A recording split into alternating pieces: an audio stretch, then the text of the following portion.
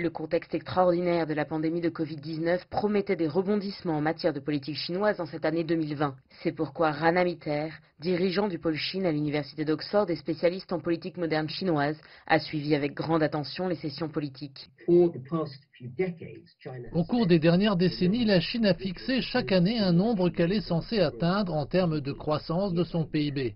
Cette année, il y a eu un long débat sur la faisabilité de cette annonce car tout le monde sait, et le gouvernement l'a reconnu naturellement, que la croissance ne pourrait pas atteindre le niveau élevé des années précédentes à cause de la pandémie. La question était donc vraiment de savoir si une autre valeur allait être avancée, s'il fallait l'incorporer sur une période de deux ans ou s'il fallait simplement laisser tomber ce chiffre. Je soupçonne que cette prise de décision est en partie responsable du décalage du Congrès.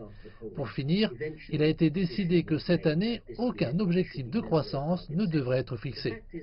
Le fait est que dans un pays de plus d'un milliard d'habitants, avec de nombreuses provinces individuelles qui font deux fois la taille de certains pays européens, il faut regarder plus en détail. Par exemple, on observe un appui de la consommation intérieure et nous avons noté que certaines villes en Chine ont été autorisées à diffuser des bons de consommation pour encourager les gens à dépenser, augmentant le montant de leur consommation globale au-delà des bons eux-mêmes.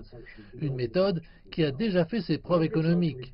Un autre exemple est l'émission d'obligations par les gouvernements locaux, leur permettant d'emprunter davantage pour construire des infrastructures.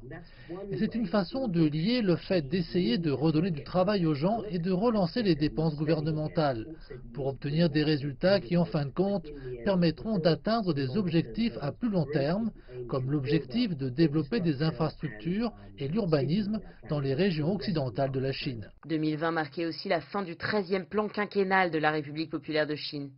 Une véritable opportunité dans un monde en pleine crise de repenser le futur de la Chine. Le prochain plan quinquennal inévitablement devra changer en raison de l'impact du Covid-19. Mais certains des objectifs à long terme, je pense, sont toujours des choses que la Chine voudra essayer de pousser. Par exemple, investir dans les innovations technologiques indigènes, et je pense aussi à réfléchir à la meilleure façon dont la Chine peut passer de son économie encore très fortement dominée par les énergies fossiles à une économie dans laquelle l'énergie verte et les technologies vertes jouent un rôle beaucoup plus important. Nous avons entendu beaucoup de propos à ce sujet. Il y a eu aussi des actions.